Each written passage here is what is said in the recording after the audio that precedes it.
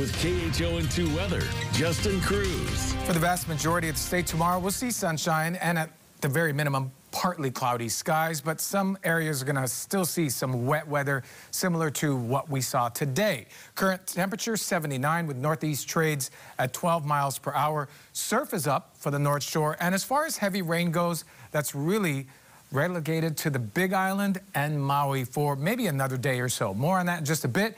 This is Tropical Storm Paine. It is pretty much over open waters, not affecting any major landmass, letting you know what's out there. It's not going to have a long shelf life. It'll be done in a few days. As far as what we're seeing closer to home, we had a uh, cold front move through on Sunday. That's why we saw a lot of wet weather on Sunday. But now that cold front is stalled over Maui County and the Big Island, and that is why the eastern half of the state will get more rain compared to the western half. Here's all that moisture that's pooled around the eastern half. Tomorrow, this is now tomorrow afternoon. You can see it's still a very wet situation for that part of the state, but starts to clear out, starts to dry up quite nicely in the Wednesday timeframe for that rain to return this weekend. Still quite a bit of rain out there.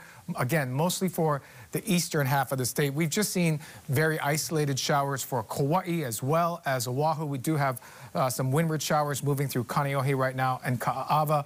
then it gets wetter as we start to move into Maui County and the Big Island. The rain right now is not heavy, with the exception of the Kohala coastline, uh, where we're seeing heavier showers near Kawaihae. Other than that, we're in good shape. For the surf tomorrow, 9 to 12 for the North Shore. We'll see about 2 to 4 for the south, 4 to 6 west, and East Shores check in at 3 to 5. After that heavy rain threat is gone by Wednesday, it's pretty much trade wind weather, fairly typical stuff. But there's indications now that the weekend will have some heavy rain, maybe starting late Saturday and in through Sunday and Monday. So wet start to the week as we are in our first week of the wet season.